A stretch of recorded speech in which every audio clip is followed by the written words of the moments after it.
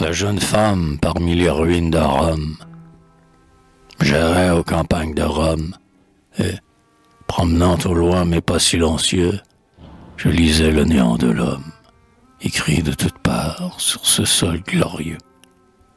Du Capitole au front superbe, j'aimais à contempler les environs déserts, et je voyais ramper sur l'herbe l'orgueil de cent palais que la ronce a couvert.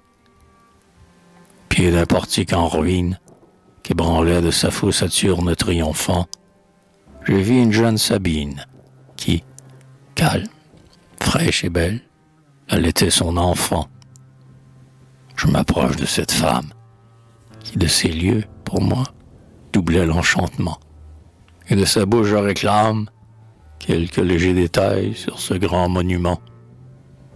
Étranger, répondit-elle, je regrette de tromper ta curiosité. Mais, pour ces débris, tout mon zèle ne peut apprendre rien sur leur antiquité. D'autres t'en rediront la gloire. Par d'autres, ces débris te seront expliqués. Pour moi, j'en ignore l'histoire. À peine mon regard les avait remarqués.